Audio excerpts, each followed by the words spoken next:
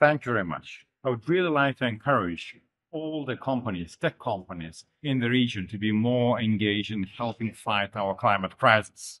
Of course, our industry has pretty good, has had pretty good environmental credentials.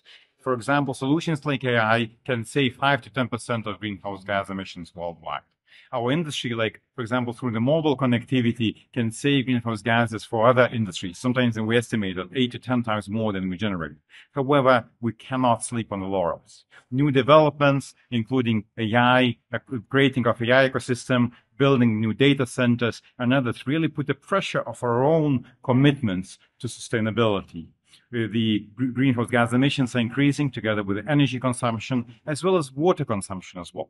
So we need to show that we're really responsible.